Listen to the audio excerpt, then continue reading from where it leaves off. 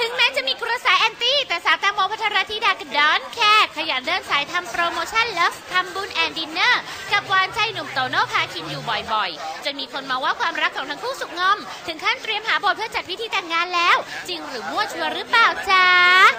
ไม่จริงไม่จริงไม่จริงเลยค่ะ ไม่มีเลย เรื่องแต่งงานยังอีกนานมากยังอีกนานมาก คือตอนเนี้ยขอทำงานพี่โน่งานเยอะมากจริงๆโมเป็นคริสเตียนนะคะการไปโบสถ์มันก็ไม่ใช่เรื่องแปลกกอะไรอย่างเงี้ยเป็นยังไงเขาเสมอต้นเสมอปลายไหมสำหรับพี่โตโน่อ่า